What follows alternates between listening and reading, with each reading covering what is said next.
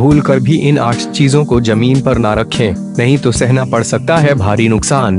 जो लोग सनातन धर्म की अच्छी समझ रखते हैं, वे लोग उससे जुड़ी बातों को भी समझते हैं। और लोग सनातन धर्म से संबंधित लगभग सभी नियमों का अच्छे से पालन भी करते हैं। ब्रह्मवैवर्त पुराण के मुताबिक भगवान को खुश करने के लिए खास रीति रिवाज के साथ साथ नियमों का पालन करना भी ज़रूरी है।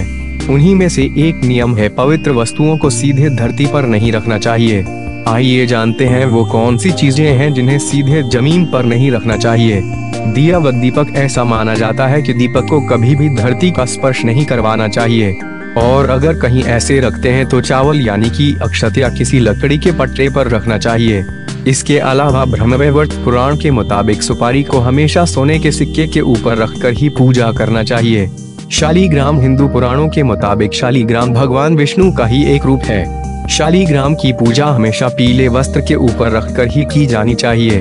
इसके अलावा अगर आप किसी पवित्र रत्न का प्रयोग पूजा के दौरान कर रहे हैं तो उसे पहले साफ़ पानी से धोकर फिर पान के पत्ते पर रख देना चाहिए।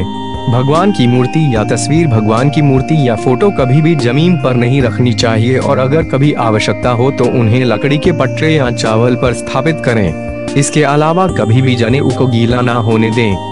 क्योंकि गीला जने कभी भगवान को अर्पित नहीं किया जाता है। इसे किसी साफ़ बर्तन या किसी साफ़ कपड़े में रखना चाहिए। भगवान के वस्त्र ज़मीन पर रखे या गिरे कपड़े कभी भगवान को नहीं पहनाना चाहिए। इन्हें हमेशा संभाल कर रखना चाहिए। इसके अलावा किसी भी धार्मिक कार्य के लिए इस्तेमाल करने से पहले शंख को हमेशा धोना और सुखाना चाहिए।